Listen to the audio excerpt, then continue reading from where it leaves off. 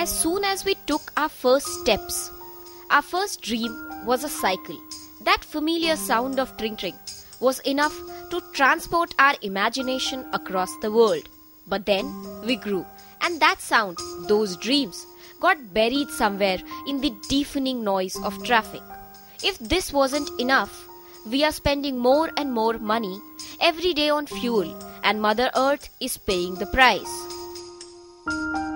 Cycling is today part of the paradigm that is needed to reduce the toxic emissions and public health risk.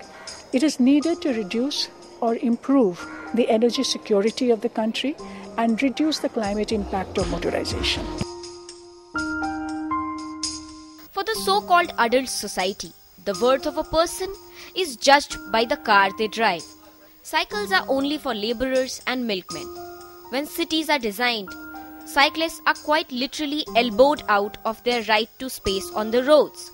But if and if a cyclist dares to come out on these roads, it is an everyday contest against death.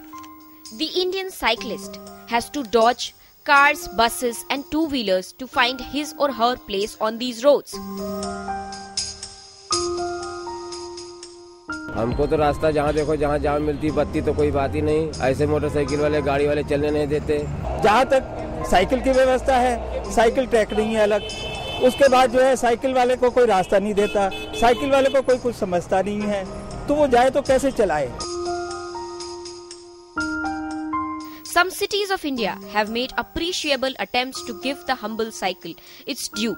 Bangalore has a public sharing system, and Delhi Metro has started giving cycles on rent for last mile connectivity.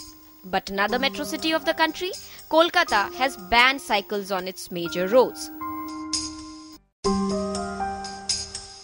We're demanding of Kolkata police is that this ban be unconditionally removed, a nodal agency be created uh, by the city where uh, all the authorities and all the experts come together, citizens come together and uh, design or redesign uh, Kolkata's transportation. Developed countries across the world have started appreciating the importance of the humble bicycle in the conservation of environment, health of their citizens, and reducing dependence on non-renewable sources of energy. It is time Indian cities start recognizing this too.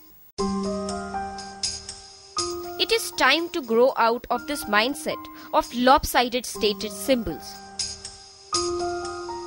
It is time to give our cycle its legitimate space and respect on our roads. It is time for India to become a truly progressive nation.